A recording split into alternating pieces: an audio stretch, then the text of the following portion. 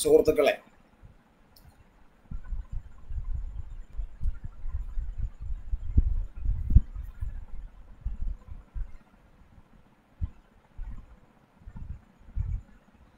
സുഹൃത്തുക്കളെ ഇന്ന് സെപ്റ്റംബർ പത്ത്. ഇന്നേക്ക് എഴുപത്തിയേഴ് കൊല്ലം മുമ്പ് ധീരനായ ഒരു മലയാളി ഭാരതത്തിന്റെ മോചനത്തിനു വേണ്ടി പോരാടിയതിന്റെ പേരിൽ തൂക്കിലേറ്റപ്പെട്ടു. ആ ധീര രക്തസാക്ഷിയുടെ എഴുപത്തി നാല് എഴുപത്തിയേഴാം ചരമദിനത്തിൽ അദ്ദേഹത്തിന് ആദരാഞ്ജലികളും അഭിവാദ്യങ്ങളും അർപ്പിച്ചുകൊണ്ട് സംസാരിക്കാൻ കഴിഞ്ഞതിൽ എനിക്ക് സന്തോഷമുണ്ട്. ആ ധീര രക്തസാക്ഷിയുടെ പേര് വക്കം ഖാദർ എന്ന ചുരുക്ക പേരിൽ അറിയപ്പെടുന്ന വക്കം മുഹമ്മദ് അബ്ദുൽ ഖാദർ. വക്കത്തുകാരായ ഒരുപാട് ഖാദർമാർ നമ്മുടെ സ്മരണയിലുണ്ട്. നമുക്ക് അഭിമാനിക്കാൻ പറ്റുന്നവരാണ്. വക്കം അബ്ദുൽ ഖാദർ മൗലവിയെ കുറിച്ച് നമ്മൾ കേട്ടിട്ടുണ്ട്.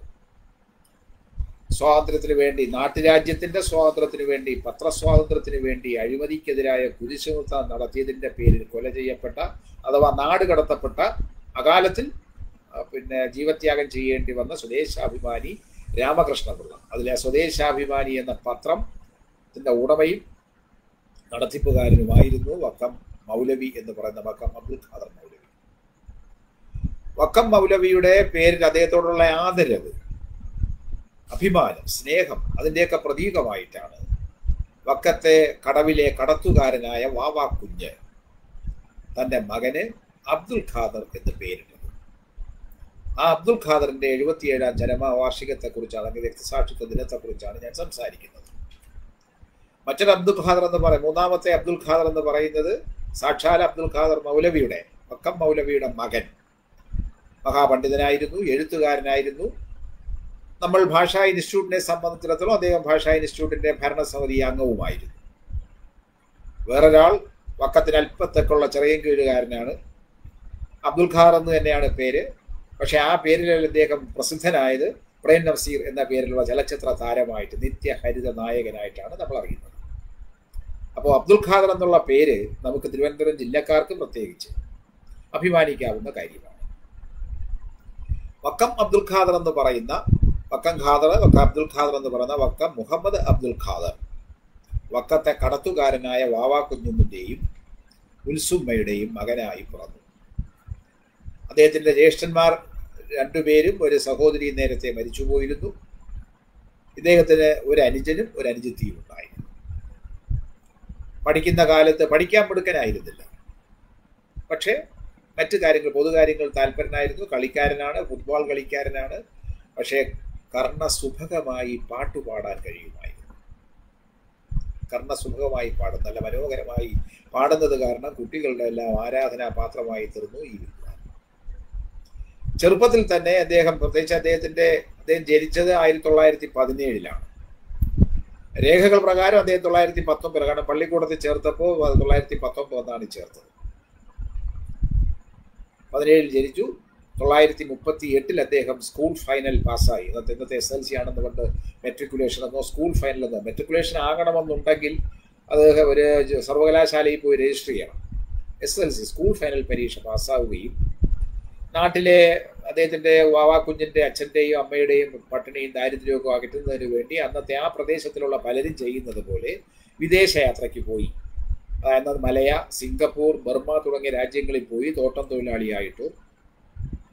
ടിൻ മൈനുകളിലോ റബ്ബർ തോട്ടങ്ങൾ തേയിലത്തോട്ടങ്ങൾ ടിൻ മൈനുകൾ അല്ലെങ്കിൽ നാവിക തൊഴിലാളി സിംഗപ്പൂർ ആണെങ്കിൽ തുറമുഖമാണ് നാവിക തൊഴിലാളി അങ്ങനെ അല്ലെങ്കിൽ എണ്ണപ്പനത്തോട്ടം മലയാളിയിൽ ഏറ്റവും കൂടുതലുണ്ടായിരുന്ന എണ്ണപ്പനത്തോട്ടം അവിടെയൊക്കെ ജോലി കിട്ടാൻ എളുപ്പമായിരുന്നു. കാരണം ഈ പ്രദേശങ്ങളെല്ലാം ഭരിച്ചിരുന്നത് ബ്രിട്ടീഷുകാരായിരുന്നു.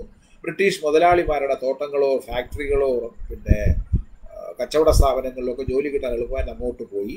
മുപ്പത്തിയെട്ടിൽ തന്നെ അദ്ദേഹം അവിടെ എത്തി. അദ്ദേഹം ജോലി കിട്ടി.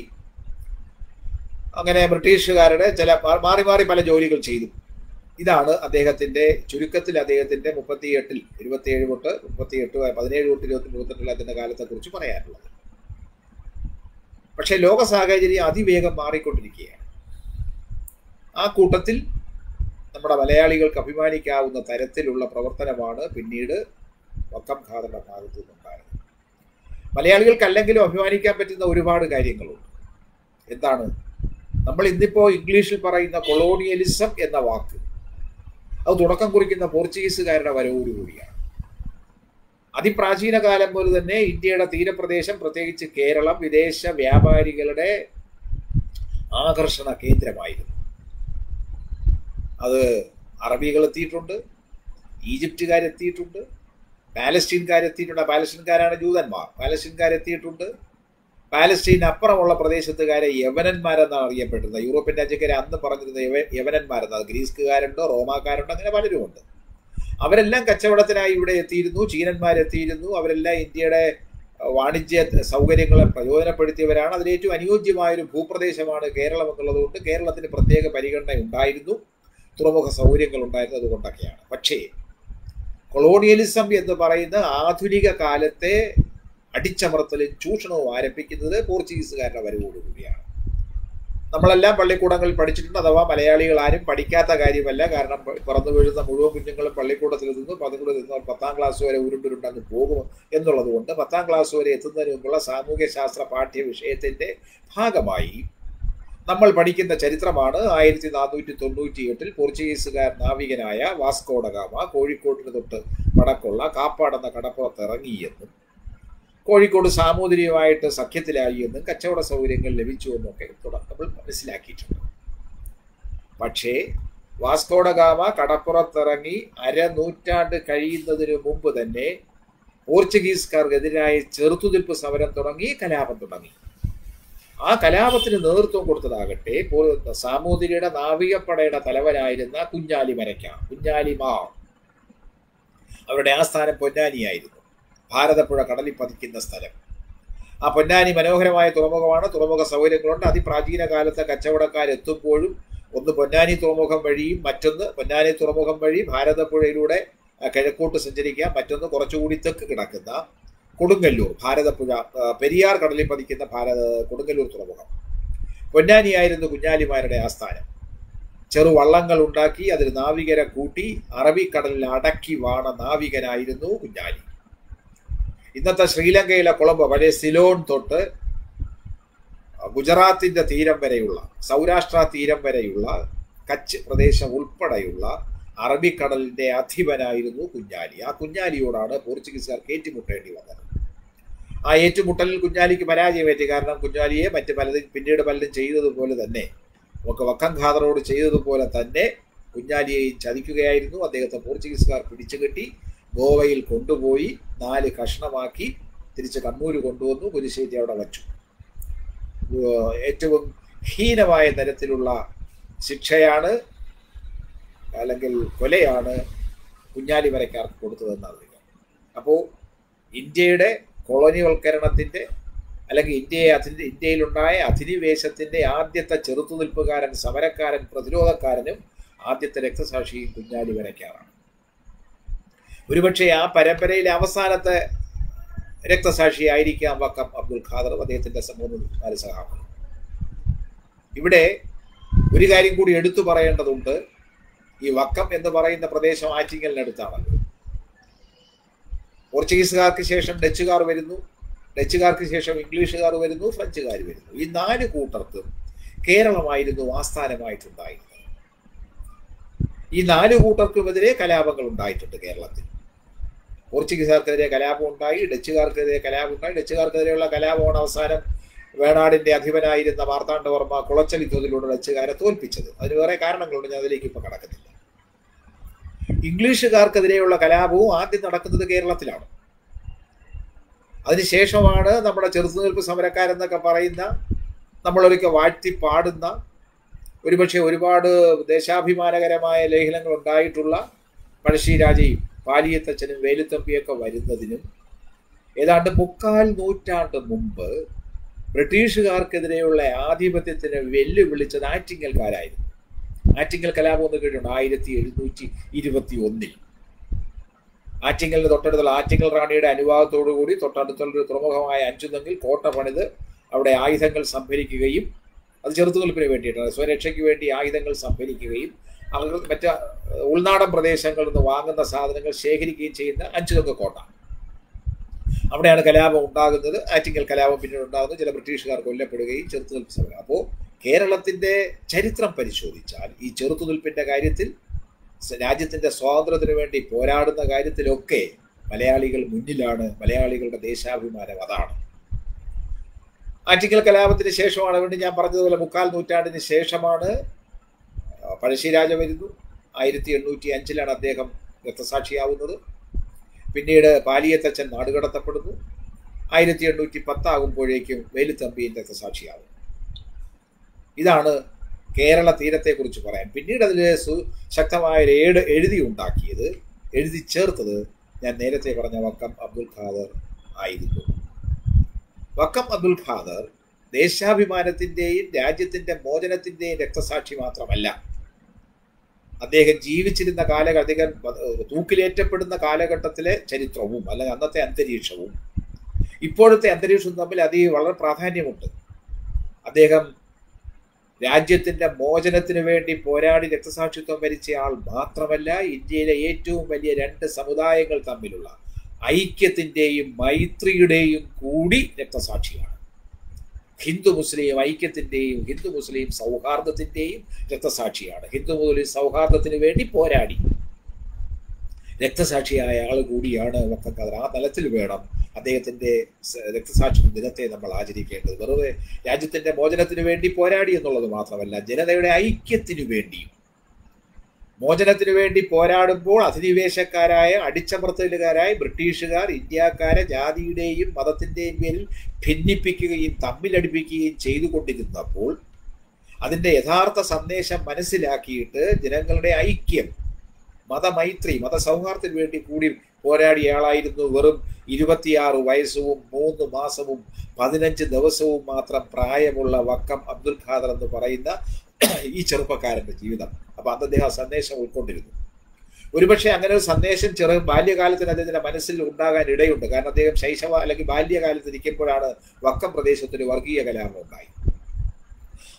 മുസ്ലിങ്ങൾ ഹിന്ദുക്കളൊന്നും ഹിന്ദുക്കൾ പറഞ്ഞാൽ ഈഴവരായിരുന്നു ആ പ്രദേശത്തുള്ള കച്ചവടക്കാരായ ചില ഈഴവരക്കാരും മുസ്ലിങ്ങളും തമ്മിലുള്ള ഏറ്റുമുട്ടലിൽ അങ്ങോട്ടും ഇങ്ങോട്ടും കല്ലേറ് നടന്നു. ഒരു സ്കൂൾ തീ കത്തിക്കപ്പെട്ടു ചില വ്യാപാര സ്ഥാപനങ്ങൾ കത്തിക്കപ്പെട്ടു. അവസാനം പോലീസും നാട്ടുപ്രവാണിമാരും എല്ലാം കൂടി ഇടപെട്ടിട്ടാണ് അവിടെ മതമൈത്രി ഉണ്ടാക്കാൻ സാധിച്ചത് സമാധാനം ഉണ്ടാക്കാൻ സാധിച്ചത്. അപ്പൊ അത് ഒരുപക്ഷെ വക്കം ഖാദർ എന്ന ബാലന്റെ മനസ്സിൽ ഒരു ആശയം അല്ലെങ്കിൽ ഒരു ഒരു മിന്നാമിന്നി തെളിയിച്ചിട്ടുണ്ടാവാം. ജനങ്ങളുടെ ഐക്യമാണ് പ്രധാനമെന്നുള്ളത്. പിന്നീട് അദ്ദേഹം വിദ്യാർത്ഥിയായിരിക്കുമ്പോൾ സ്റ്റേറ്റ് കോൺഗ്രസിന്റെ പ്രവർത്തകനാകുന്നു. ആ സ്റ്റേറ്റ് കോൺഗ്രസിന്റെ പ്രവർത്തകനായതുകൊണ്ട് തന്നെ എപ്പോഴും പോലീസുകാരുടെ നിരീക്ഷണത്തിലായിരുന്നു. പോലീസ് നേരിട്ടും അഞ്ചു രൂപ പോലീസ് എന്ന് പറഞ്ഞ ചാരന്മാർ. അന്ന് തിരുവിതാംകൂറിലെ ഈ ഒറ്റുകാരെ പറഞ്ഞിരുന്ന പേരാണ് അഞ്ചു രൂപ പോലീസ്. കാരണം സർക്കാരിൽ നിന്ന് അഞ്ചു രൂപ പ്രതിഫലം പറ്റിക്കൊണ്ട് നാട്ടിൽ നടക്കുന്ന സ്വാതന്ത്ര്യ സമരത്തെ ഉത്തരവാദ സമരത്തെ ഉത്തരവാദത്തിന് വേണ്ടി സമരം ചെയ്യുന്ന ആൾക്കാരെ ഒറ്റ കൊടുക്കുന്നവരുടെ പേരാണ് ഈ അഞ്ചു രൂപ പോലീസ്. ആ അഞ്ചു രൂപ പോലീസുകാരൊക്കെ ഖാദറിനെ പിന്നെ നോട്ടം വിട്ടിരുന്നത് അതുകൊണ്ടുകൂടി തന്നെയാണ് കുടുംബത്തെ രക്ഷിക്കാൻ വേണ്ടിയിട്ട് വാവാക്കുഞ്ഞ് തന്റെ മകനെ വിദേശത്തേക്ക് അയക്കാൻ തയ്യാറായത്. അപ്പോൾ കേരളത്തിന്റെ ഈ പാരമ്പര്യം ഞാൻ ആമുഖമായി പറഞ്ഞത് കേരളം ഹിന്ദു മുസ്ലിം മൈത്രിയുടെ എന്ന് മാത്രമല്ല ജാതി മൈത്രിയുടെയും കൂടെ ഒരു കേന്ദ്രമായിട്ട് ഇപ്പൊ പ്രവർത്തിച്ചു കൊണ്ടിരിക്കുകയാണ്. ജാതി വിവേചനവും സമരവും നടന്ന കാര്യം നമുക്കറിയാം. പക്ഷെ അതിന് അവസാനം അതിനെ അറുതി വരുത്താൻ തക്കവണ്ണം കേരളം എന്തുകൊണ്ട് മാറി? ഒരുപക്ഷെ അതിന്റെയും കൂടെ സന്ദേശമായിരിക്കാം. വക്കം അബ്ദുൽ ഖാദർ മൗലവി എന്ന വടവൃക്ഷത്തിന്റെ തണലിൽ വളർന്നവരായിരുന്നു ഇവരൊക്കെ ഈ വക്കത്തുകാരൊക്കെ എന്നുള്ളത് കൊണ്ട് ആ സന്ദേശവും അവർ ഉൾക്കൊണ്ടത് കൊണ്ടാവാം അബ്ദുൽ ഖാദർ പിന്നീട് മതമൈത്രിയിൽ കൂടെ വക്താവായി തീരുന്നത്. തൊള്ളായിരത്തി മുപ്പത്തി ഒമ്പത് മുപ്പത്തെട്ടിലാണ് വക്കം ഖാദർ മലയായിൽ പെനാങ്കിൽ എത്തിച്ചേരുന്നത്. അവിടുത്തെ പ്രധാനപ്പെട്ട തുറമുഖ പട്ടണമാണ് പെനാങ് തൊള്ളായിരത്തി മുപ്പത്തി ഒമ്പതാവുമ്പോഴേക്കും രണ്ടാം ലോക മഹായുദ്ധം പൊട്ടിപ്പുറപ്പെടുന്നു മുപ്പത്തൊമ്പതിൽ ആ യുദ്ധം യൂറോപ്പിൽ പൊട്ടിപ്പുറപ്പെടുമ്പോൾ തന്നെ അധികം താമസിക്കുന്നതിന് മുമ്പ് തന്നെ യൂറോപ്യൻ രാജ്യങ്ങളായ ജർമ്മനിയും ഇറ്റലിയും കിഴക്കൻ രാജ്യമായ ജപ്പാനും ചേർന്ന് അച്ചുതണ്ട് എന്ന പേരിൽ അച്ചുതണ്ട് ശക്തി ആക്സിസ് പവേഴ്സ് ഉണ്ടാക്കും. യൂറോപ്പും ആഫ്രിക്കയും ഏഷ്യയും അടങ്ങുന്ന ഭൂഖണ്ഡം. ഇത് മൂന്നും ഒരുമിച്ച് തൊട്ട് തൊട്ട് കിടക്കുകയാണെന്ന് നമുക്കറിയാം. ഭൂമിശാസ്ത്രം പഠിച്ചിട്ടുള്ളത് നമുക്കറിയാം. അങ്ങനെ ആ തൊട്ടു തൊട്ട് കിടക്കുന്ന മൂന്ന് ഭൂഖണ്ഡങ്ങളെ അടക്കി വാഴുക എന്നുള്ളതായിരുന്നു ഈ അച്ചുതണ്ട് ശക്തികളുടെ ലക്ഷ്യം. അച്ചുതണ്ടാകുമ്പോൾ അത് അച്ചുതണ്ടിന് ലോകം കറങ്ങണം അതിന് അച്ചുതണ്ട് വേണം അതിന് കേന്ദ്ര ബിന്ദു വേണം. ആ കേന്ദ്ര ബിന്ദുവായിട്ട് ഈ അച്ചുതണ്ട് ശക്തികൾ കണ്ടെത്തിയത് ഡൽഹി ആയിരുന്നു. ഏഷ്യയിലെ ഏറ്റവും വലിയ രാജ്യങ്ങളിൽ ഒന്ന്. ബ്രിട്ടനെ സംബന്ധിച്ചിടത്തോളം ഏഷ്യയിലെ ഏറ്റവും വലിയ കോളനി അവരുടെ തന്നെ കോളനികളിലെ ഏറ്റവും വലിപ്പമുള്ളതും ഏറ്റവും സമ്പത്തുള്ളതുമായ രാജ്യം ഇന്ത്യയായിരുന്നു. എന്തായിരുന്നു ആ പദ്ധതി? മധ്യ അല്ലെങ്കിൽ പശ്ചിമ യൂറോപ്യൻ രാജ്യമായ ജർമ്മനി അവിടെ നിന്ന് കിഴക്കോട്ട് തങ്ങളുടെ സൈന്യം നാസി സൈന്യത്തെ നീക്കി ഏഷ്യയുടെ പടിഞ്ഞാറൻ പ്രദേശത്ത് എത്തിച്ചേരുകയും മധ്യേഷ്യയിൽ എത്തിച്ചേരുകയും യൂറോപ്യൻ ശക്തിയായി അറിയപ്പെട്ടിരുന്ന അന്നത്തെ ഏറ്റവും വലിയ സോഷ്യലിസ്റ്റ് ശക്തിയായ സോവിയറ്റ് യൂണിയനെ തോൽപ്പിച്ച് പശ്ചിമേഷ്യ വഴി അഫ്ഗാനിസ്ഥാനിലെത്തി. പണ്ട് മുഗളന്മാരും തുർക്കികളും അതിനു മുമ്പ് എത്രയോ എത്രയോ ആയിരം വർഷങ്ങൾക്ക് മുമ്പ് പല ആൾക്കാരും കച്ചവടത്തിനായി ഇന്ത്യയിലേക്ക് എന്ന ഖൈബർ മാസ ഖൈബർ ബോളൻ ചുരങ്ങൾ വഴി പഞ്ചാബ് വഴി ഡൽഹിയിലെത്തണം. അപ്പോൾ ജർമ്മനിയുടെ സഖ്യകൃഷിയായ ഇറ്റലി എന്ത് ചെയ്യണം? നമുക്കറിയാം ഇറ്റലി മധ്യധരണ്യാഴി കിടക്കുന്ന ഒരു രാജ്യമാണ്. മധ്യധരണ്യാഴിയിലേക്ക് ഒരു കഠാര പോലെ തെറിച്ചു നിൽക്കുന്ന ഉപദ്വീപാണ് ഇറ്റലി. അവിടെ അവിടുത്തെ അധിപനായി വാഴുന്നയാളാണ് ഹിറ്റ്ലറുടെ സഖ്യകക്ഷിയായ സുഹൃത്തായ മുസോളിനി. മുസോളിനിയുടെ ഇറ്റാലിയൻ സേന മധ്യധരണ്യാഴി കടന്ന് ഈജിപ്തിലെത്തി പാലസ്റ്റീൻ കടന്ന് ചെങ്കടൽ വഴി ഇന്ത്യയുടെ പശ്ചിമതീരത്തെത്തുകയും പേർഷ്യ വഴി ഇന്നത്തെ ഇറാൻ പേർഷ്യ വഴി ബലൂചിസ്ഥാൻ വഴി പഞ്ചാബ് വഴി ഡൽഹിയിലെത്തുകയും വേണം. അപ്പൊ ഇറ്റലിക്കാർക്ക് രണ്ട് മാർഗങ്ങളിലൂടെ വേണം ഇന്ത്യയിലെത്താൻ. ജർമ്മനിക്ക് കടൽ സൗകര്യം കുറവായതുകൊണ്ടാണ് നേരിട്ട് അവർ ലാൻഡ് മാർക്ക് അല്ലെങ്കിൽ ഈ കരയിലൂടെയുള്ള വഴി സ്വീകരിച്ചത്. ഇറ്റലി ആകട്ടെ കടലിലൂടെയും കരയിലൂടെയും വരും. കടലിലൂടെ വരുമ്പോൾ ഇന്ത്യയുടെ പശ്ചിമ തീരം അപകടത്തിലാവുന്നു. ഇറ്റാലിയൻ സേന ഏത് നിമിഷവും ചിലപ്പോൾ ജർമ്മൻ മുങ്ങിക്കപ്പലുകളുടെ സഹായത്തോടു കൂടി തന്നെ ഇറ്റലി ഇന്ത്യയുടെ പടിഞ്ഞാറേ തീരം ആക്രമിക്കാൻ കേരളവും ബംഗാൾ അല്ല കേരളവും പിന്നെ മഹാരാഷ്ട്ര ബോംബെ പ്രദേശങ്ങളൊക്കെ അപകടത്തിലാവാം. മൂന്നാമത്തെ അച്ചുതണ്ട് ശക്തിയായ ജപ്പാൻ കിഴക്കൻ പ്രദേശങ്ങൾ ആക്രമിച്ച് കീഴ്പ്പെടുത്തി ചൈന. ഇൻഡോ ചൈന എന്ന് അന്ന് വിളിച്ചു നിന്നത്തെ വിയറ്റ്നാമും കമ്പൂച്ചയും അടങ്ങുന്ന പ്രദേശം മലയ സിംഗപ്പൂർ ഇന്തോനേഷ്യ മല പിന്നെ ബർമ മ്യാൻമാർ.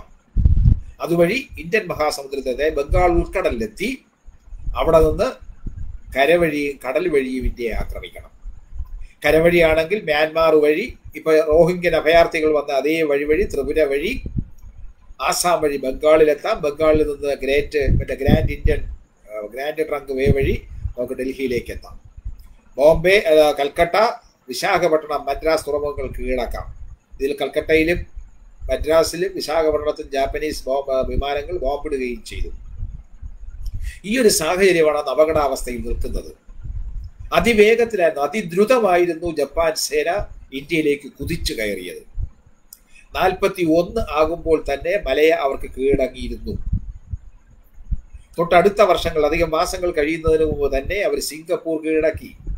സിംഗപ്പൂർ കഴിഞ്ഞാൽ പിന്നെ തൊട്ടടുത്ത് കിടക്കുന്നത് ബർമ്മയാണ് മ്യാൻമാറാണ്. ബർമ്മ കഴിഞ്ഞാൽ ആൻഡമാൻ നിക്കോബാർ ദ്വീപുകൾ ഇന്ത്യയിലേക്കുള്ള മാർഗം തുറന്നു കിട്ടുകയാണ്. ഇങ്ങനെ അതിവേഗം ഇന്ത്യയിലേക്ക് കുതിച്ചു വന്നുകൊണ്ടാണ് നമുക്ക് മലയാളത്തിൽ ഒരുപാട് നല്ല പദങ്ങൾ കിട്ടിയിട്ടുണ്ട്. നമ്മൾ പറയുമല്ലോ ആൾ ജപ്പാനാണ് ആൾ ജർമ്മനാണ് ആൾ യമണ്ടനാണ് എന്നൊക്കെ പറയുന്ന പദങ്ങൾ മലയാളത്തിലുണ്ട്. യമണ്ടൻ. അത് ഒരു ജർമ്മൻ അന്തർവാഹിനിയുടെ മുങ്ങിക്കപ്പലിന്റെ പേരാണ് യംഡൻ ഇന്ത്യൻ മഹാസമുദ്രത്തിൽ മുങ്ങിക്കിടന്ന് പല ബ്രിട്ടീഷ് കപ്പലുകളെ അത് മുക്കിക്കളഞ്ഞു. അന്തർവാഹിനി ടോർപ്പിഡോ. അങ്ങനെയാണ് അവന് യമണ്ടൻ ആ യമണ്ടൻ മലയാളികൾ പറഞ്ഞു വന്നപ്പോൾ യമണ്ടനായതാണ്. ആൾ ജപ്പാനാണ് സൂക്ഷിക്കണമെന്നാണ്. കാരണം അവൻ അടിയിൽ കൂടെ എടുത്തുകൊണ്ട് പോയി കളയും. അതാണ് ഈ ജപ്പാൻ എന്ന് പറയാൻ കാരണം. ആൾ ജർമ്മൻ അതിവേഗത്തിൽ ആക്രമിച്ച് കീഴ്പ്പെടും. ഇതൊക്കെ നമുക്ക് മലയാളികൾക്ക് ഈ പദങ്ങൾ കിട്ടിയത് രണ്ടാം ലോക മഹായുദ്ധത്തിന്റെ സാഹചര്യത്തിലാണ് കേരളം അതീവ ഗുരുതരമായ സെൻസിറ്റീവ് എന്ന് ഇംഗ്ലീഷിൽ പറയാവുന്ന ഒരു പ്രദേശമായി മാറുന്നു. കാരണം കേരളത്തിലാണ് കൊച്ചി തുറമുഖമുള്ളത്. ഒരു കൊച്ചു കൊച്ചു ഒരുപാട് തുറമുഖങ്ങൾ ഉണ്ട് അതുകൊണ്ട് തന്നെയാണ് കൊച്ചി തുറമുഖത്തെ ബലപ്പിക്കാനായി തൊള്ളായിരത്തി മുപ്പതുകളിൽ കൊച്ചി തുറമുഖം ഉണ്ടാക്കുന്നത് വെല്ലിംഗ്ടൺ ഐലൻഡ് വേമ്പനാട് കായലിനും വൻകരയ്ക്ക് കേരളത്തിന്റെ വൻകരയ്ക്ക് നടുവിൽ ഒരു ഭൂപ്രദേശത്ത് മണ്ണിട്ട് നികത്തി കാക്കനാട് ഭാഗത്ത് നിന്നൊക്കെ മണ്ണിട്ട് കൊണ്ടുവന്ന് നികത്തി ഒരു പുതിയ കൃത്രിമമായി ദ്വീപുണ്ടാക്കി അതിനെ തുറമുഖമായിട്ട് നാവിക താവളമായിട്ട് വികസിപ്പിച്ചത് ബ്രിട്ടീഷുകാർ ജന്മനാക്രമണവും ജാപ്പനീസ് ആക്രമണവും ഭയപ്പെടുന്നു എന്നുള്ളത് കൊണ്ടാണ്. അന്നത്തെ ഗവർണർ ജനറലായിരുന്ന വെല്ലിംഗ്ടന്റെ പേരിലാണ് അത് വെല്ലിംഗ്ടൺ ഐലൻഡ് എന്ന പേരിൽ അറിയപ്പെടുന്നത് അപ്പോൾ ബ്രിട്ടീഷ് സൈന്യത്തിന് ബ്രിട്ടീഷ് ഇന്റലിജൻസിന് അല്ലെങ്കിൽ അവരുടെ രഹസ്യ പോലീസിന് ഈ വിവരങ്ങൾ അറിയാം. ഏത് നിമിഷവും ജപ്പാന്റെയോ ജർമ്മനിയുടെയോ ഇറ്റലിയുടെയോ സൈനികർ കേരള തീരത്തെത്താം. പടിഞ്ഞാറൻ ഇന്ത്യയുടെ പടിഞ്ഞാറൻ തീരത്തെത്താം എന്നറിയാമായിരുന്നു. ഈ അപകടം മനസ്സിലാക്കിക്കൊണ്ടാണ് ബ്രിട്ടീഷുകാർ നിൽക്കുന്നത്. ഈ സാഹചര്യത്തിലാണ് നാൽപ്പത്തി ഒന്നിൽ ജപ്പാൻ ഇന്ത്യയിലേക്ക് അല്ലെങ്കിൽ ജപ്പാൻ കിഴക്കൻ പ്രദേശം ആക്രമിച്ച് ഇവിടെ വരുന്നു മലയായിൽ വരുന്നു മലയായിൽ വന്നപ്പോൾ ലോക സാഹചര്യം മാറി. അപ്പോഴേക്കും ഇന്ത്യൻ നാഷണൽ കോൺഗ്രസ് എന്നുള്ള അഭിപ്രായ വ്യത്യാസം കാരണം തൊള്ളായിരത്തി മുപ്പത്തി ഒൻപതിൽ സുഭാഷ് ചന്ദ്രബോസ് കോൺഗ്രസ് സോഷ്യലിസ്റ്റ് പാർട്ടിയുടെ സ്ഥാപക നേതാക്കളിൽ ഒരാൾ തീപ്പൊരി പ്രസംഗകൻ ദേശാഭിമാനി. അദ്ദേഹം കോൺഗ്രസുമായിട്ട് തെറ്റിപ്പിരിഞ്ഞ് ഫോർവേഡ് ബ്ലോക്ക് എന്നൊരു സഖ്യ ഒരു കക്ഷി ഉണ്ടാക്കുകയും മുപ്പത്തൊമ്പതിൽ യുദ്ധം പൊട്ടി പുറപ്പെട്ട കൂട്ടത്തിൽ എല്ലാവരെയും അറസ്റ്റ് ചെയ്ത കൂട്ടത്തിൽ ഇദ്ദേഹത്തെ അറസ്റ്റ് ചെയ്തു പിന്നീട് വീട്ടു തടങ്കലിലാക്കി. വീട്ടു തടങ്കലിൽ നിന്നും അത്യത്ഭുതകരമായി അദ്ദേഹം രക്ഷപ്പെടുന്നു. അദ്ദേഹത്തിന്റെ അനന്തരവന്റെ സഹായത്തോടുകൂടി റോഡ് മാർഗം ബംഗാളിലെ കൽക്കട്ടയിലെ ജയിലിൽ നിന്നും സ്വന്തം വീട്ടിൽ നിന്നും തടവു ചാടി മതിൽ ചാടി ഒരു പാതിരാത്രിക്ക് അദ്ദേഹം അനന്തരവൻ കൊണ്ടുവരുന്ന കാറിൽ കയറി ഡൽഹി വഴി അഫ്ഗാനിസ്ഥാനിന്റെ അതിർത്തി കടന്ന് റഷ്യയിലേക്ക് പോകാനായിരുന്നു അദ്ദേഹം മോഹിച്ചത്.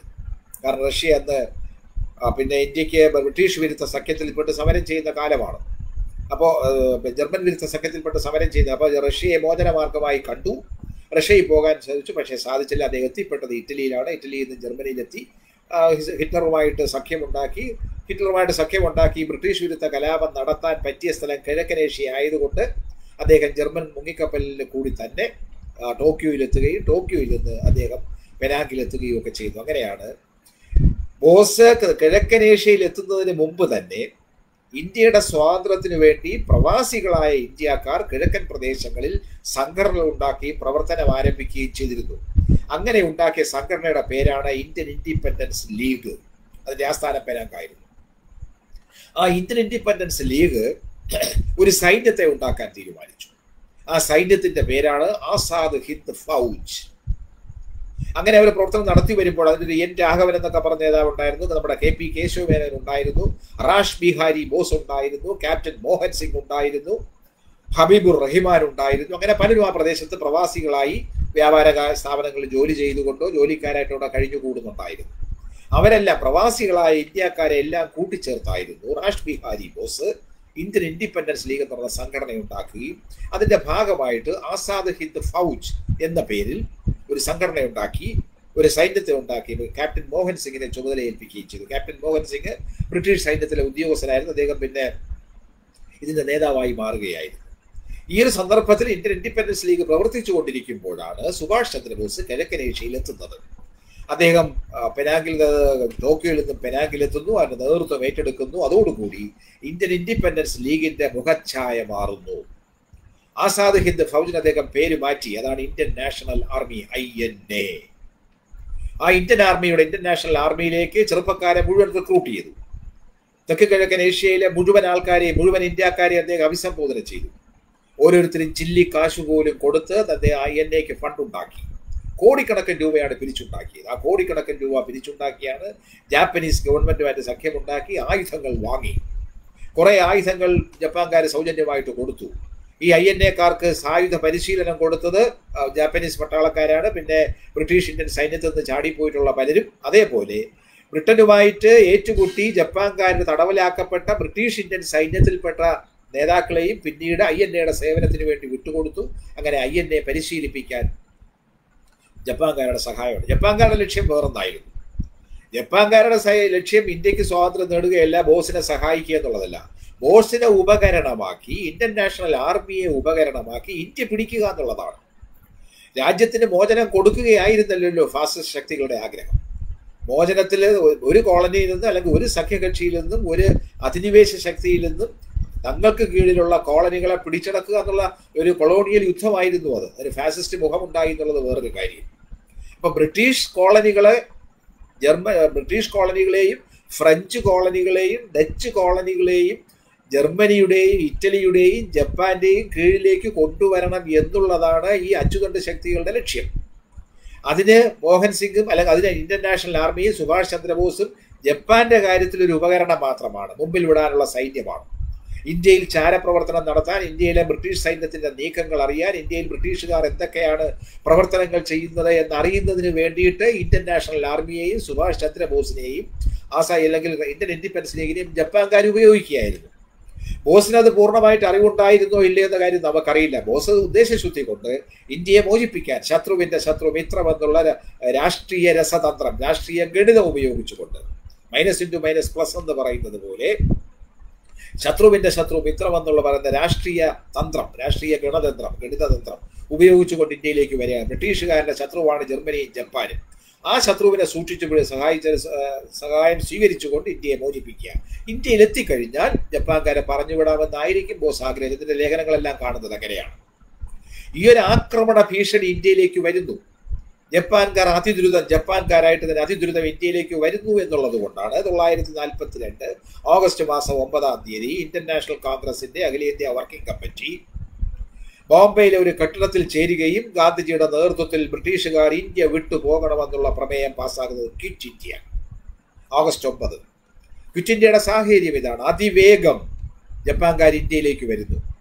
ജർമ്മൻ മുങ്ങി ജർമ്മനിയുടെ മുങ്ങിക്കപ്പൽ പടയോ അല്ലെങ്കിൽ ഇറ്റലിയുടെ മുങ്ങിക്കൽ പടയോ കറാച്ചി മുതൽ അല്ലെങ്കിൽ കച്ച് മുതൽ കറാച്ചി മുതൽ കന്യാകുമാരി വരെയുള്ള കിഴക്കൻ പടിഞ്ഞാറൻ പ്രദേശം ഇന്ത്യയുടെ പടിഞ്ഞാറൻ തീരം അപകടത്തിലാകാം എന്നുള്ളത് വരുന്നു. അപകടത്തിലായി കഴിഞ്ഞാൽ അവർ കിഴക്കോട്ടേക്ക് അതിവേഗം സഞ്ചരിക്കും.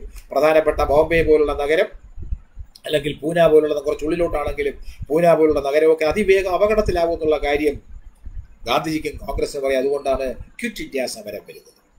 ആ ക്വിറ്റ് ഇന്ത്യ സമരം ജാപ്പനീസ് വിരുദ്ധ സമരമാണ്. നമ്മളിവിടെ പ്രത്യക്ഷത്തിൽ കാണുന്നത് ക്വിറ്റ് ഇന്ത്യ സമരം ബ്രിട്ടീഷ് വിരുദ്ധ സമരമാണെങ്കിലും ആത്യന്തികമായി ക്വിറ്റ് ഇന്ത്യ സമരം എന്ന് പറയുന്നത് ഫാസിസ്റ്റ് വിരുദ്ധ സമരമാണ്. ഫാസിസ്റ്റുകാരായ ജർമ്മൻ ജപ്പാൻകാർ ഇന്ത്യയിലേക്ക് എത്തരുത്. തൊട്ടടുത്തെത്താൻ കഴിയുന്ന അവർക്കായതുകൊണ്ട് അതുകൊണ്ടാണ് ആ സമരം നടക്കുന്നത്.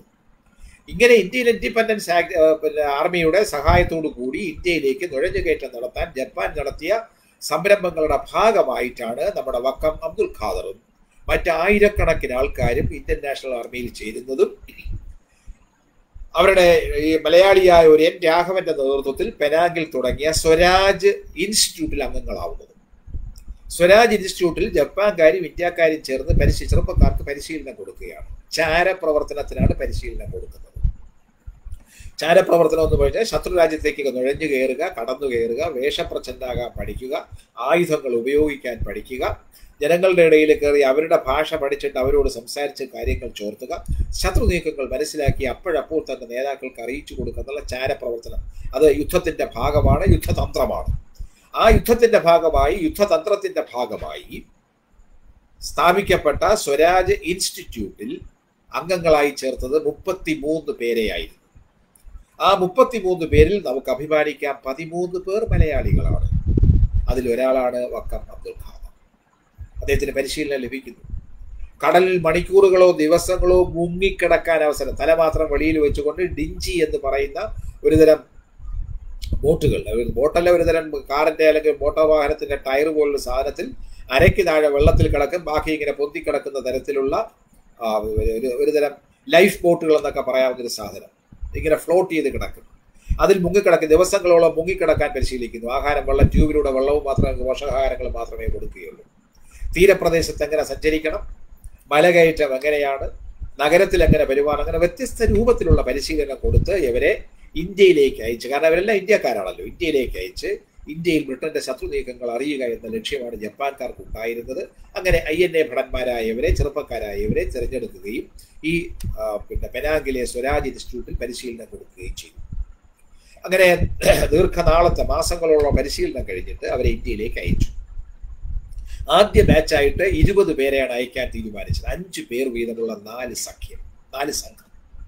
അതിൽ രണ്ട് സംഘത്തെ കടൽ വഴി ഇന്ത്യയിലേക്ക് കടക്കാനും മറ്റ് രണ്ട് സംഘത്തെ കരവഴി ഇന്ത്യയിലേക്ക് കടത്താനുമാണ് ഈ സ്വരാജ് ഇൻസ്റ്റിറ്റ്യൂട്ട് പ്ലാൻ ചെയ്തത്. അതായത് ജപ്പാൻകാർ പ്ലാൻ ചെയ്തത് ജപ്പാന്റെ അന്തർവാഹിനികളെയാണ് ഉപയോഗിച്ചത്.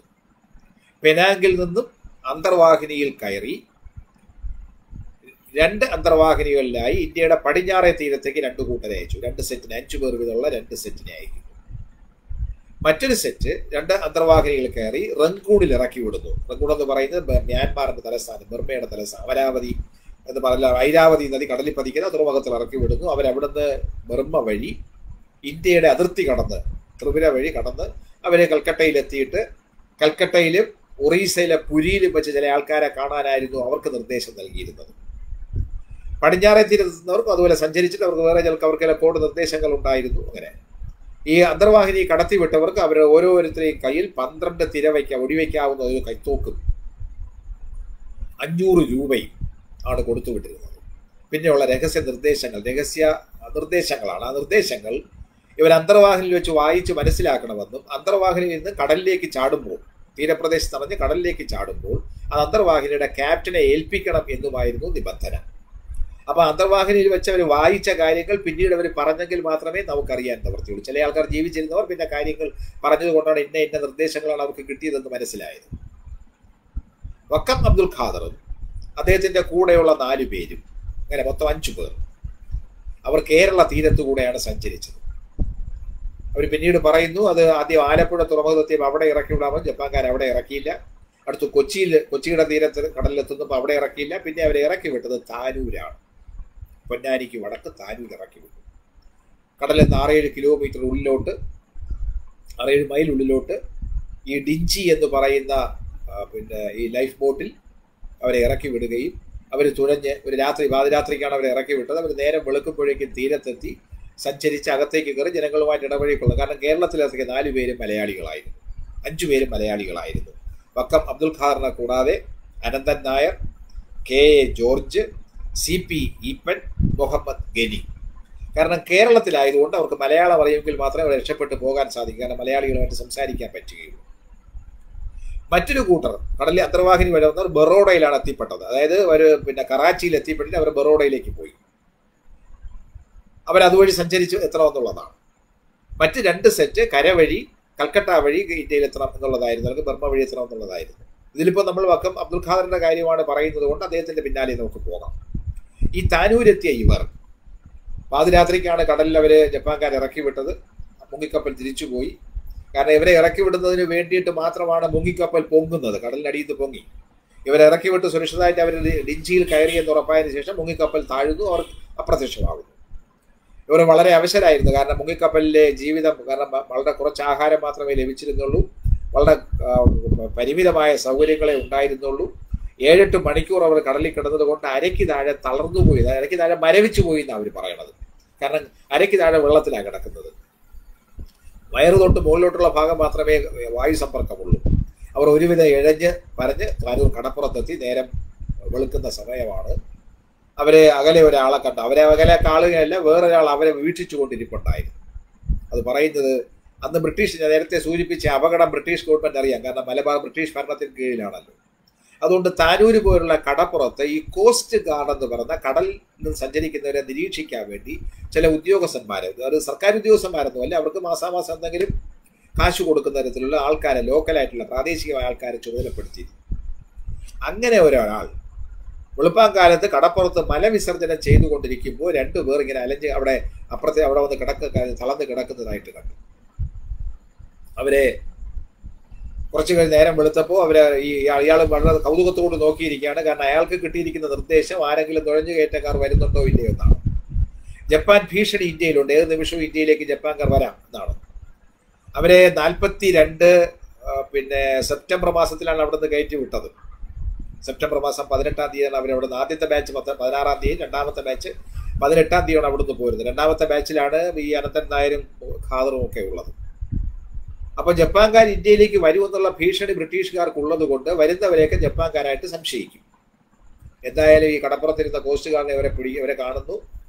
ഇവരെ അയാളെ കൈകാട്ടി വിളിക്കുന്നു. കാരണം രണ്ടു ദിവസമായി നേരെ ആഹാരം കഴിച്ച് തളർച്ചയുണ്ട്. അപ്പൊ എന്തെങ്കിലും ആഹാരം കഴിക്കണമെന്ന് പറഞ്ഞ് ഇവർക്കൊരു പത്ത് രൂപ എടുത്ത് കൊടുത്തു എന്നാണ്.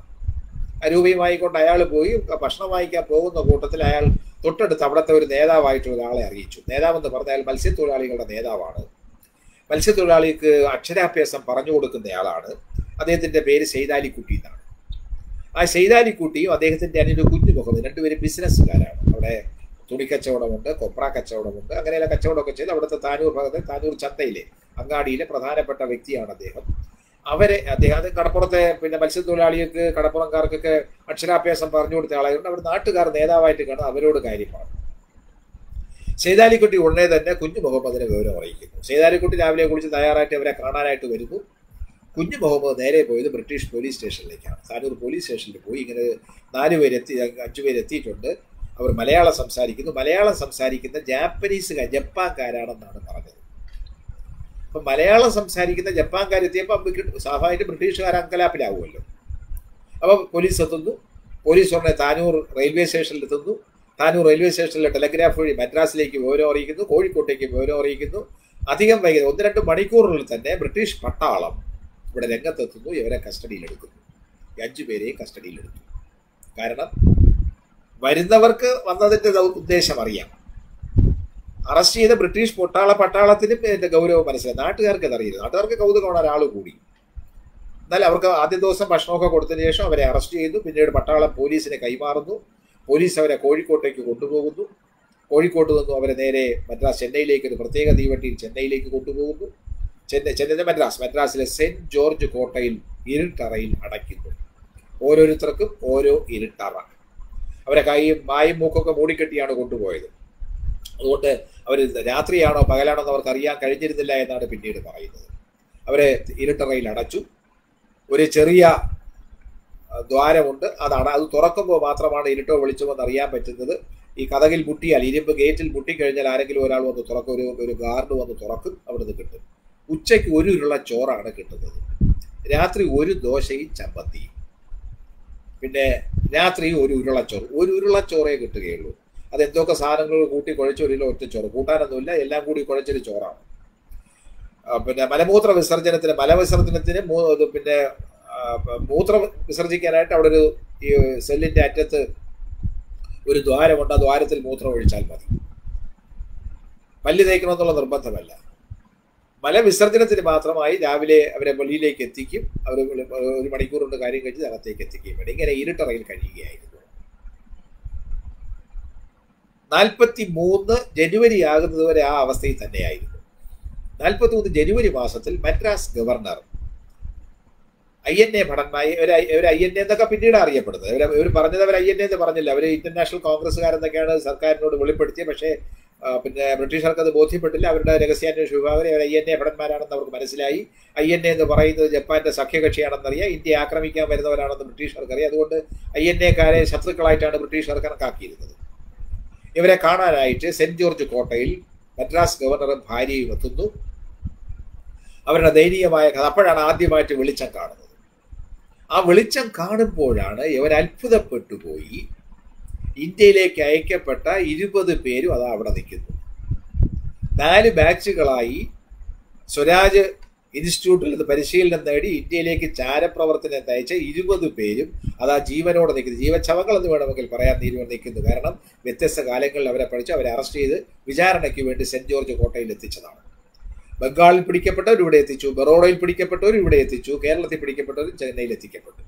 അപ്പോഴാണ് കാര്യം മനസ്സിലാകുന്നത്. അവരോട് അപ്പോൾ ഇവരുടെ ദയനീയ അവസ്ഥ മദ്രാസ് ഗവർണറോട് പറയുന്നു. മദ്രാസ് ഗവർണർ ഉടനെ തന്നെ നിർദ്ദേശം കൊടുക്കുന്നു ഇവരെ മദ്രാസ് സെൻട്രൽ ജയിലിലേക്ക് മാറ്റണം. ഇത്രയും കിരാതമായ പ്രവർത്തനം ഒരു തടവുകാരനോട് പോലും പാടില്ല. ഇത് മനുഷ്യാവകാശ ലംഘനമാണെന്നുള്ള ഗവർണർക്ക് പോലും തോന്നിയതുകൊണ്ട് അവരെ സെൻട്രൽ ജയിലിലേക്ക് മാറ്റുന്നു. അപ്പോൾ ഈ സെന്റ് ജോർജ് കോട്ടയിലെ ഈ സെല്ലാറുകളിലുള്ള ഇരുട്ടറകളിലുള്ള ജീവിതം അവസാനിക്കുന്നു. അവർ ഈ ഇരുപത് പേർക്കും അവിടെ സ്വൈര ജീവിതം ജയിലറയ്ക്കുള്ളിൽ ഭക്ഷണം കഷ്ണം കിട്ടുന്നു. അങ്ങോട്ടും ഇങ്ങോട്ടും സഞ്ചരിക്കാം. കൈകാലികളിൽ ചങ്ങലയില്ല. പിന്നെ വിലങ്ങ് വച്ചിട്ടില്ല. അവർക്ക് സഞ്ചരിക്കാനും ഇരുന്ന് സ്വല പറയാനും ഒക്കെ സൗകര്യം കിട്ടുന്നു. അങ്ങനെ നിൽക്കുന്നു. അങ്ങനെ നിൽക്കുമ്പോഴാണ് ഒരു ദിവസം വാവ കുഞ്ഞ് മദ്രാസ് ജയിൽ കാണാൻ വരുന്നു. കാതറ കാണാൻ വരുന്നു. അവർ കണ്ടു അദ്ദേഹം തിരിച്ചുപോയി. തിരിച്ചു പോകുന്നതിനും അദ്ദേഹം ഒരു കാര്യം പറഞ്ഞു. വാവാ കുഞ്ഞ് പറഞ്ഞു തന്റെ കുടുംബം രക്ഷിക്കാൻ വേണ്ടി അബ്ദുൽ ഖാദറുടെ അനുജൻ തിരുവിതാംകൂർ പോലീസിൽ അഞ്ചു രൂപ പോലീസായിട്ട് പ്രവർത്തിക്കുകയാണ്. കോസ്റ്റ് ഗാർഡായി നിൽക്കുകയാണെന്ന് പറഞ്ഞു. അത് കേട്ട് ഖാദർ പൊട്ടിത്തെറിച്ചു എന്നാണ്. പൊട്ടിത്തെറിച്ചു എന്നാണ്. ഇങ്ങനെ ചാരപ്പണി ചെയ്യണോ? ബ്രിട്ടീഷുകാർ മറ്റേ സഖ്യത്തിൽ ഏർപ്പെട്ടുക തിരുവിതാംകൂറിന്റെ തിരുവിതാംകൂറിന്റെ മോചനത്തിന് വേണ്ടി പെരുമാറുന്ന പ്രവർത്തിക്കുന്ന തിരുവിതാംകൂറിലെ സ്റ്റേറ്റ് കോൺഗ്രസിനെ ചതിക്കാൻ നിൽക്കുന്ന ആൾക്കാരെ കൂട്ടുപോകണം. അവനോട് പറയണം. അവനോട് ജോലി രാജിവെക്കാൻ പറയണമെന്ന് അദ്ദേഹം പറയുന്നു. എന്തായാലും വാവക്കുഞ്ഞ് തിരിഞ്ഞു വന്ന് ചേട്ടന്റെ അഭിപ്രായം ഇതാണെന്ന് അനിയനോട് പറഞ്ഞത് ആ ജോലി രാജിവെച്ചു എന്നാണ് പിന്നെ അറിയുന്നത്. എന്നാലും അതിവേഗത്തിൽ കാര്യങ്ങൾ നീങ്ങി ഒരു തടവ് വിചാരണ കൂട്ടി ഇവരെ യുദ്ധ കുറ്റവാളികളായിട്ട് ചാരപ്രവർത്തനം നടത്തിയായിട്ട് കണ്ടുപിടിച്ച് അവരെ ഒരു പ്രത്യേക കോടതി ജയിലിൽ തന്നെ ഒരു കോടതി സ്ഥാപിച്ചു.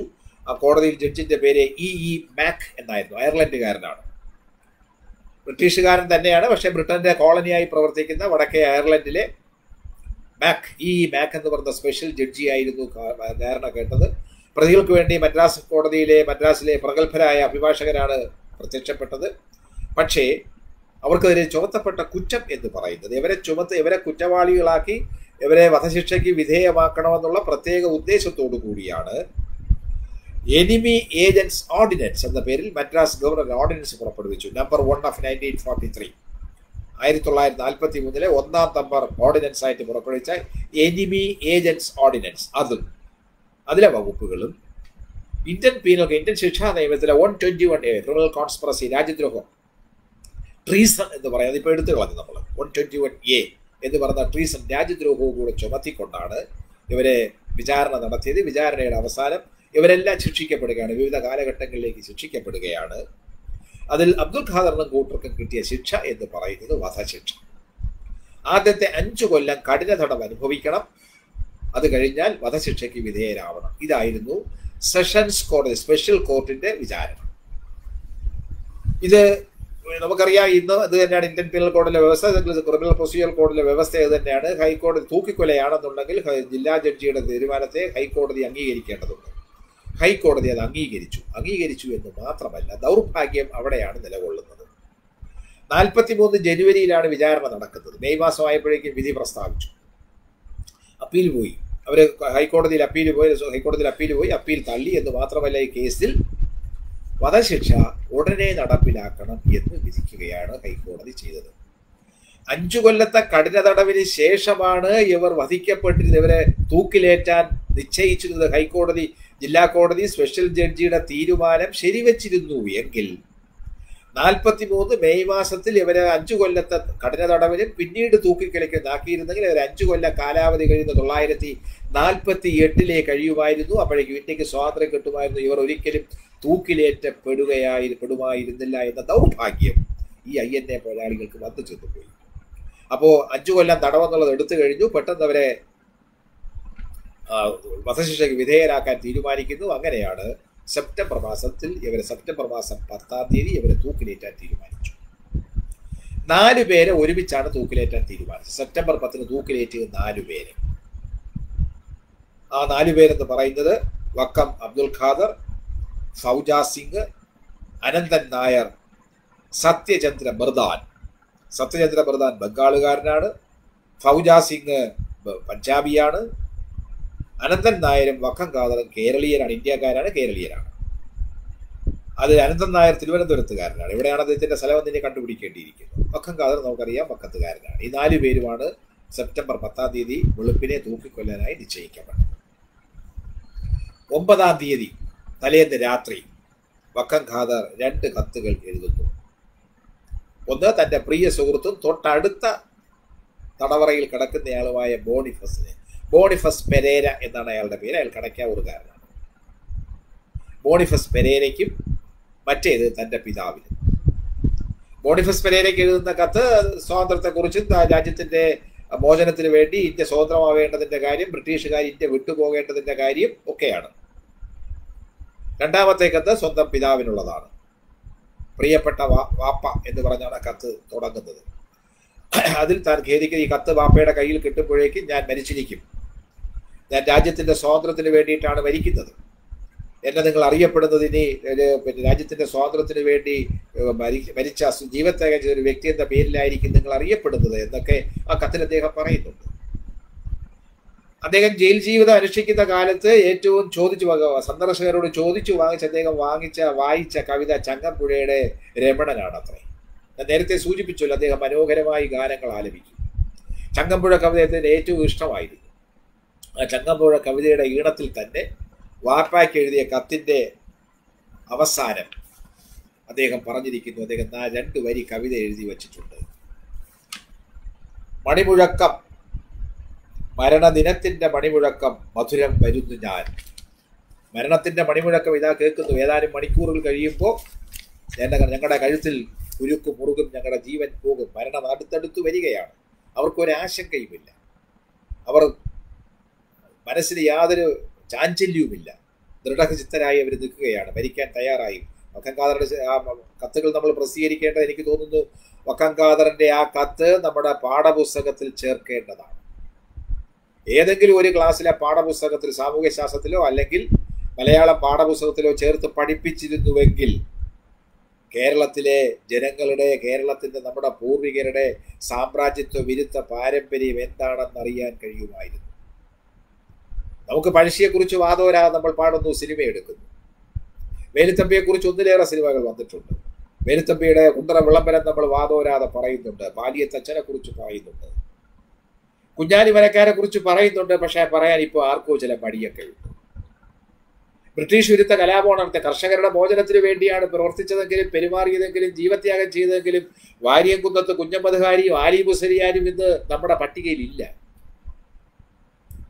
അപ്പോൾ ആലി മുസലിയാലും വാര്യംകുന്നത്ത് കുഞ്ഞമ്മദ്ഹാരി എന്ത് പാരമ്പര്യത്തിന്റെ വക്താക്കളാണ്? അവർ ഇന്ത്യ വിരുദ്ധരായിരുന്നു. അവർ ഇന്ത്യൻ ദേശീയതയ്ക്കെതിരായിരുന്നു. അവർ ബ്രിട്ടീഷ് വിരുദ്ധരായിരുന്നു. ബ്രിട്ടീഷ് സാമ്രാജ്യത്തിനെതിരായിരുന്നു. ബ്രിട്ടീഷ് സാമ്രാജ്യത്വ സമരത്തിന്റെ ഭാഗമാണ് ഇന്ത്യയിലെ എഴുപത് ശതമാനത്തോളം വരുന്ന കർഷകരുടെ കലാപം. ആ കർഷക കലാപത്തിൽ ഏർപ്പെട്ടവരാണ് മലബാറിലെ പാട്ടക്കുടിയാന്മാർക്ക് ജന്മിമാരുടെ കയ്യിലിരിക്കുന്ന പാട്ട കൈവശമുള്ള അല്ലെ ഉടമസ്ഥതയിലുള്ള പാട്ടഭൂമി കൈവശം വെച്ച് അനുഭവിക്കുന്ന പാട്ടക്കുടിയാന്മാർക്ക് ഭൂമിയിൽ ഉടമസ്ഥാവകാശം കിട്ടണം അന്യായപ്പിനും അവസാനിപ്പിക്കണമെന്നുള്ള ആവശ്യം ഉന്നയിച്ചുകൊണ്ടല്ലേ ആയിരത്തി എണ്ണൂറ്റി പതിനെട്ട് മുതൽ വെളിയങ്കോട് ഉമർ ഖാസി മുതൽ വാര്യംകുന്നത്ത് കുഞ്ഞഹമ്മദ് ഹാജി വരെയുള്ള മലബാറിലെ കർഷകർ അവർ മുസ്ലിങ്ങളായിപ്പോയത് അവരുടെ കുറ്റമല്ലല്ലോ. അവർക്ക് ഇഷ്ടമുള്ള ഈശ്വരനെ ആരാധിക്കാനുള്ള സ്വാതന്ത്ര്യം. ആ കുഞ്ഞഹമ്മദ് ഹാജി ഉൾപ്പെടെയുള്ളവർ നടത്തിയ സമരം സാമ്രാജ്യത്വ വിരുദ്ധ സമരമാണ്. ആ സാമ്രാജ്യത്വ വിരുദ്ധ സമരത്തിന്റെ അവസാനത്തെ കണ്ണിയാണ് വക്കം അബ്ദുൽ ഖാദർ. കുഞ്ഞാലി മരക്കാറിൽ തുടങ്ങി വെളിയങ്കോട് ഉമർ ഖാസിയിലൂടെ മഫ്തി തങ്ങളിലൂടെ വാര്യംകുന്നത്ത് കുഞ്ഞഹമ്മദ് ഖാലി ആലി മുസലിയാരിലൂടെ വക്കം അബ്ദുൽ ഖാദറിൽ എത്തുമ്പോൾ ധീരദേശാഭിമാനികളുടെ രാജ്യത്തിന്റെ മോചനത്തിന് വേണ്ടി പ്രവർത്തിച്ച ധീരദേശാഭിമാനികളായ ഒരു പറ്റം നായകന്മാരുടെ പേരാണ് നമുക്ക് കിട്ടുന്നത്. അക്കൂട്ടത്തിൽ വക്കം അബ്ദുൽ ഖാദറുടെ പ്രിയപ്പെട്ട വാപ്പ എന്നുള്ള എഴുതിക്കൊണ്ട് അതിഹൃദയഭേദകമായി എഴുതുന്ന കത്ത്. പക്ഷെ ഒരു ദൃഢനിശ്ചയമുള്ള ഒരു രക്തസാക്ഷിയുടെ ഒരു ദേശാവരുടെ നമുക്ക് സ്വരം അതിൽ തുടിക്കുന്നു. നമുക്ക് അതിൽ നോക്കിയാൽ നമ്മൾ ആവർത്തി ആത്മാർത്ഥമായിട്ടത് വായിച്ചു കഴിഞ്ഞാൽ അതിൽ തുടിക്കുന്ന ശബ്ദം നമുക്ക് മനസ്സിലാവും. ഹൃദയമിടിപ്പ് നമുക്ക് മനസ്സിലാവും. വിരൽ തുമ്പിൽ കിട്ടും നാഡീ സ്പന്ദനം മനസ്സിലാക്കി. പഴയ ആയുർവേദ വൈദ്യന്മാർ ഹൃദയസ്പന്ദനത്തിന്റെ റേറ്റ് തോത് മനസ്സിലാക്കുന്നത് പോലെ നാടി പിടിച്ച് മനസ്സിലാക്കുന്നത് പോലെ ഈ കത്ത് വായിച്ചാൽ നമുക്ക് മനസ്സിലാവും. ഈ കത്ത് പാഠപുസ്തകത്തിൽ ചേർക്കേണ്ടതാണ്. അല്ലെങ്കിൽ ഇന്നത്തെ സർക്കാരെങ്കിലും അത് ചെയ്യേണ്ടതാണ്. കാരണം നമ്മുടെ ദേശാഭിമാനികളുടെ നിറഞ്ഞു നിൽക്കുന്ന ഒരു പട്ടികയുണ്ട്. അത് സ്വന്തം പിതാവിന് എഴുതിയ വെറും ഒരു കത്തല്ല. സ്വന്തം പിതാവിലൂടെ നാട്ടുകാർ അറിയാൻ വേണ്ടി അത് അത് ആ ദൗത്യം മനസ്സിലാക്കിയിട്ട് തന്നെയാണ് ആ കത്ത് ദൗത്യം ആ കത്ത് സ്വന്തം പിതാവ് നമ്മുടെ നാട്ടുകാർക്ക് കൊടുത്തത്. അങ്ങനെയാണല്ലോ നമ്മുടെ കയ്യിൽ അത് കിട്ടുന്നത്. അതിന്റെ കൈപ്പടയിൽ ആ കത്ത് ഇപ്പോഴും ലഭ്യമാണ്. ആ കൈപ്പട നമ്മൾ സൂക്ഷിക്കേണ്ടതാണ്. ആ ആ കത്ത് നമ്മൾ പാഠപുസ്തകമാക്കേണ്ടതാണ് നാട്ടുകാരെ കൊണ്ട് വായിപ്പിക്കേണ്ടത് കുഞ്ഞുങ്ങളെ കൊണ്ട് വായിപ്പിക്കേണ്ടത് എങ്കിൽ മാത്രമേ. ഞാൻ ആദ്യം സൂചിപ്പിച്ചതുപോലെ രാജ്യത്തിന്റെ മോചനത്തിന് വേണ്ടി രക്തസാക്ഷിയായാൽ മാത്രമല്ല ഹിന്ദു മുസ്ലിം മൈത്രിക്കു വേണ്ടി രക്തസാക്ഷിയാവണം. അതിന്റെ ഏറ്റവും വലിയ തെളിവാണ് കൊലപരത്തിൽ കയറുന്നതിന് തൊട്ടു മുമ്പ് അദ്ദേഹം പറഞ്ഞത്. ഈ നാലു പേരെ ഒരുമിച്ച് തൂക്കിലേക്കാനാണ് പക്ഷെ രണ്ടുപേരെ വീതമേ ഒരു സമയം തൂക്കിലേറ്റാൻ ആ മദ്രാസ് ജയിലിൽ സൗകര്യം. ഒരു സമയം രണ്ടുപേരെ തൂക്കിലേറ്റാം. കാരണം കഴുമരത്തിൽ രണ്ട് കയറുകൾ മാത്രമേ കുരുക്കിടാൻ സാധിക്കുകയുള്ളൂ. അതുകൊണ്ട് ആദ്യം തീരുമാനിച്ചത് വക്കം ഖാദറെയും ഫൗജ സിംഗിനെയും ഒരുമിച്ച് തൂക്കിലേറ്റാവുന്നു അനന്തൻ നാഥനെയും അനന്തൻ നായരെയും സത്യചന്ദ്ര ബർധാനെയും മറ്റൊരു കയർ മറ്റേ രണ്ടാമത്തെ ഘട്ടമായിട്ട് തൂക്കിലേറ്റാമെന്നാണ് ജയിൽ അധികൃതർ തീരുമാനിച്ചത്. ആ തീരുമാനം പറഞ്ഞ വക്കം ഖാദർ പറയുന്നു ഹിന്ദു മുസ്ലിം മൈത്രിക്ക് വേണ്ടി എന്നെയും അനന്തൻ നായരെയും ഒരുമിച്ച് തൂക്കിലേറ്റണം. എന്നെയും അനന്തൻ നായരെയും ഒരുമിച്ച് തൂക്കിലേറ്റണമെന്ന് ആവശ്യപ്പെടുന്നു. ഇരുപത്തിയാറ് വയസ്സും മൂന്ന് മാസവും പതിനഞ്ച് ദിവസവും മാത്രം പ്രായമുള്ള ഈ ചെറുപ്പക്കാരൻ. ഈ രക്തസ ഈ തീര ദേശാഭിമാനി. ബ്രിട്ടീഷ് ജയിലുകൾക്ക് കാരണം അന്ത്യാഭിലാഷം നടപ്പിലാക്കി കൊടുക്കാൻ ജയിലധികൃതർ ബാധ്യസ്ഥരാണ്. അന്ത്യാഭിലാഷമായിട്ട് പറഞ്ഞ എന്റെ രാജ്യത്തിന്റെ മോചനം വേണം ബ്രിട്ടീഷ് സാമ്രാജ്യം തുലയട്ടെ എന്നവർ മുദ്രാവാക്യം വിളിച്ചു. വന്ദേ മാതരം എന്നവർ വിളിച്ചു. ഭാരത് മാതാക്കി ജി എന്നും വിളിച്ചു. പക്ഷേ അവർ അന്ത്യശ്വാസമായിട്ട് അന്ത്യാഭിലാഷമായിട്ട് അവർ പറഞ്ഞത് ഹിന്ദു മുസ്ലിം മൈത്രി ഇന്ത്യയിൽ പുലരണം. ഞങ്ങളുടെ അന്ത്യാഭിലാഷം എന്ന് പറഞ്ഞത് ഞങ്ങളെ രണ്ടുപേരെയും ഒരുമിച്ച് തൂക്കിലേറ്റണമെന്നാണ്. അങ്ങനെ രണ്ട് മലയാളികൾ ഒരുമിച്ച് തൂക്കിലേറ്റപ്പെട്ടു. അനന്തൻ നായരും മുസ്ലിം. അതിന് അനന്തൻ നായർ എന്ന് പറഞ്ഞ ഹിന്ദുവും വക്കം ഖാദർ എന്ന് പറഞ്ഞ മുസ്ലിം അത് തലേന്ന് രാത്രി എഴുതിയല്ലോ മരണം തൊട്ടു മുമ്പിൽ പടിവാതിൽക്ക് നിൽക്കുകയാണ് മുട്ടി വിളിക്കുകയാണ്. ഏതാനും മണിക്കൂറിൽ കഴിയുമ്പോൾ മരണം തന്റെ തങ്ങളുടെ ശ്വാസം കുരൽ കുരലിനെ ഉടച്ചുകൊണ്ട് ഉടച്ചുകൊണ്ട് ആ കയർ തങ്ങളുടെ കഴുത്തിൽ മുറുകും. മുറുകുമ്പോൾ തങ്ങൾ മരിക്കും അന്ത്യശ്വാസം വലിക്കുന്നതിന് മുമ്പ് അവർക്കറിയാം മരണത വന്ന് നിൽക്കുന്നു എന്നറിയാം. പക്ഷേ അന്ത്യശ്വാസത്തിൽ പോലും അവർ പറഞ്ഞത് ഹിന്ദു മുസ്ലിം മൈത്രിക്ക് വേണ്ടിയാണ്. ഇന്നേക്ക് എഴുപത്തേഴ് കൊല്ലം മുമ്പ് രാജ്യത്തിന്റെ മോചനത്തിനു വേണ്ടി രക്തസാക്ഷിയായ വക്കം ഖാദറുടെ ഈ അന്ത്യാഭിലാഷത്തിന്റെ സന്ദേശം എങ്ങനെയാണ് ഇന്നത്തെ ഭാരതീയർ ഇന്നത്തെ കേരളീയർ മനസ്സിലാക്കേണ്ടത്? ഇന്ത്യ ഹിന്ദു രാഷ്ട്രമെന്ന് വാഹിക്കുന്നവർ ഒരു ഭാഗത്ത്. ഇന്ത്യ ഇസ്ലാമിക രാഷ്ട്രമായി തീർന്നാൽ കൊള്ളാമെന്ന് ആഗ്രഹിക്കുന്ന ചില മൗത മതമൗലികവാദികൾ മറുവശത്ത്. ഇത് രണ്ടിനുമിടയ്ക്ക് മഹാഭൂരിപക്ഷം എന്ന ജനങ്ങളുടെ മനസ്സെന്ത് പറയുന്നു? നൂറ്റി മുപ്പത് കോടി ജനങ്ങളുള്ള ഇന്ത്യൻ ഇന്ത്യയിൽ ഭാരതത്തിലെ മഹാഭൂരിപക്ഷം മനുഷ്യരുടെയും മനസ്സിൽ മന്ത്രിക്കുന്ന അല്ലെങ്കിൽ ജ്വലിക്കുന്ന മന്ത്രിക്കുന്ന മന്ത്രം ഏതാണ്? ആ മന്ത്രം ജനങ്ങളുടെ മൈത്രിയല്ലേ? ജനങ്ങളുടെ മാനവീകതയല്ലേ? അവരുടെ ഐക്യമല്ലേ? ജാതിക്കും മതത്തിനും അതീതമായ വിശ്വ വിശ്വമാനകനാകാനുള്ള ഒരു ത്വരയല്ലേ ഇവരുടെ എല്ലാം മനസ്സിൽ നിൽക്കുന്നത്? അതാണ് ഇന്നത്തെ ഭാരതീയന്റെ മനസ്സിലുള്ള ആ മഹാഭൂരിപക്ഷം ഭാരതീയരുടെയും മനസ്സിൽ ത്രസിക്കുന്നത് തുടിക്കുന്നത് എങ്കിൽ വക്കം അബ്ദുൽ ഖാദർ എന്ന് പറയുന്ന ഈ ധീര ദേശാഭിമാനിയുടെ ധീര രക്തസാക്ഷിയായ രക്തസാക്ഷിയുടെ അന്തിമ അഭിലാഷത്തെ നമ്മൾ നെഞ്ചേറ്റുകയും അത് വരും തലമുറയ്ക്ക് പറഞ്ഞു കൊടുക്കുകയും വേണം. ഇന്നലകളിൽ നിന്ന് ഊർജം ആവാഹിച്ചുകൊണ്ടാണല്ലോ വർത്തമാനകാലം ഭാവിയിലേക്ക് സന്ദേശങ്ങൾ കൈമാറുന്നത്. ചരിത്രത്തിൽ ഇന്നലകളുടെ ചരിത്രത്തിൽ നിന്ന് നമ്മൾ ഊർജം ഉൾക്കൊണ്ട് ഇന്നലകളിൽ നിന്ന് ഊർജം ഉൾക്കൊണ്ട് വർത്തമാനകാലം അത് നെഞ്ചേറ്റി ഭാവിയിലേക്ക് പകർന്നു കൊടുക്കാൻ വക്കം അബ്ദുൽ ഖാദറുടെ രക്തസാക്ഷിത്വം എന്ത് സന്ദേശമാണ് നമുക്ക് തരുന്നത് എന്ന് ചോദിച്ചാൽ രാജ്യത്തെ അപകടപ്പെടുത്താവുന്ന വിധത്തിൽ സാമ്രാജ്യം നമ്മളെ വീണ്ടും ആക്രമിക്കാൻ വരുമ്പോൾ അത് ഭൗതികമായ സാമ്പത്തികമായ ഒരു ആക്രമണം മാത്രമാവില്ല സാംസ്കാരികമായ അധിനിവേശത്തിലൂടെ ഇന്ത്യയെ അടിക്ക അടിച്ചമർത്താൻ ശ്രമിക്കുന്ന ഒരു ഭാഗത്ത് നിൽക്കുമ്പോൾ ഇന്ത്യൻ ജനങ്ങളെ തട്ടുകളിലാക്കി കള്ളറകളിലുണ്ടാക്കി. ഹിന്ദുവെന്നും മുസ്ലിമെന്നും പാഴ്സിയെന്നും ബുദ്ധനെന്നും ജൈനനെന്നും അല്ലെങ്കിൽ ആദിവാസി എന്നും വനവാസി എന്നും കീഴാളനെന്നും മേലാളനെന്നുമുള്ള കള്ളറകൾ ഉണ്ടാക്കി അതിലിട്ട് അടിച്ചമർത്തി അല്ലെങ്കിൽ വ്യത്യസ്തമായി തമ്മിലടിച്ച് പോരാടാൻ അവസരമുണ്ടാക്കി കൊടുക്കുന്ന കൂട്ടരെ എതിർക്കേണ്ടതിന് എതിർക്കുന്നതിന് വേണ്ടി ഏറ്റവും വലിയ ദിവ്യ മാത്രമായിരിക്കും മൃതസഞ്ജീവനിയായിരിക്കും ജീവവായുവായിരിക്കും വക്കം അബ്ദുൽ മുഹമ്മദ് അബ്ദുൽ ഖാദറിന്റെ അന്ത്യാഭിലാഷം. ആ അന്ത്യാഭിലാഷം നമുക്ക് നടപ്പിലാക്കാൻ ബാധ്യതയുണ്ടെന്ന് ആരെങ്കിലും വിചാരിക്കുന്നുണ്ടെങ്കിൽ ചങ്ങമ്പുഴ പറഞ്ഞതുപോലെ മാനസം കല്ലുകൊണ്ടല്ലാതായിട്ടുള്ള മാനവരാരും ഉണ്ടെന്നിരിക്കുവിൽ ഈ കല്ലറയ്ക്കിൽ വന്നിരിക്കുക എന്ന് പറഞ്ഞുവല്ലോ. സന്ധിക്കുന്ന അസ്ഥിമാടത്തിൽ പറഞ്ഞതാണ് താരകങ്ങളെ കാൺമതോ നിങ്ങൾ താഴെയുള്ളൊരു പ്രേത കുടീരം ഹന്ത ഇന്നതിന് ചിന്ത രഹസ്യം എന്തറിഞ്ഞു ഹാ ദൂരസ്ഥർ നിങ്ങൾ. അങ്ങനെ മഞ്ഞുമാവല നൃത്തമാടുമ്പോൾ മന്ദം വന്ന സ്ഫുടിപ്പതായി കേൾക്കാ ഈ കല്ലറയ്ക്കുള്ളിൽ. എന്ന് ചങ്ങമ്പുഴ പാടിയതുപോലെ ഈ ധീര രക്തസാക്ഷികളുടെ അന്ത്യാഭിലാഷം സന്ദേശം കേട്ടാൽ നമ്മുടെ മാനവം മനസ്സ് മരവിച്ചു പോയിട്ടില്ലാത്ത മാനസം കല്ലുകൊണ്ടല്ലാതായിട്ടുള്ള മാനവരാരാലും ഉണ്ടെന്നിരിക്കുകയിൽ ഈ സന്ദേശം നമ്മൾ വരും തലമുറയ്ക്ക് പകർത്തി കൊടുക്കണം. മാനവ മൈത്രിയാണ് മതസൗഹാർദ്ദമാണ് മനുഷ്യ സ്നേഹമാണ് ഇന്നത്തെ സന്ദേശം. ആ സന്ദേശം ഉൾക്കൊള്ളണമെന്നുള്ള ഒരു അഭ്യർത്ഥനയോടുകൂടി എന്നെ കേട്ടിരുന്ന എല്ലാവർക്കും നന്ദി പറഞ്ഞുകൊണ്ട് ഞാൻ ഈ പ്രഭാഷണം അവസാനിപ്പിക്കുകയാണ്. മാനവ മൈത്രിക്ക് വേണ്ടി മനുഷ്യരെ ഐക്യത്തിന് വേണ്ടി നമുക്ക് പ്രതിക്കാം പ്രവർത്തിക്കാമെന്ന പ്രതിജ്ഞ വക്കം അബ്ദുൽ ഖാദറിന്റെ പേരിൽ എടുക്കാമെന്ന പ്രതിജ്ഞ ഞാൻ എന്റെ വാക്കുകൾ അവസാനിപ്പിക്കുന്നു. നന്ദി നമസ്കാരം.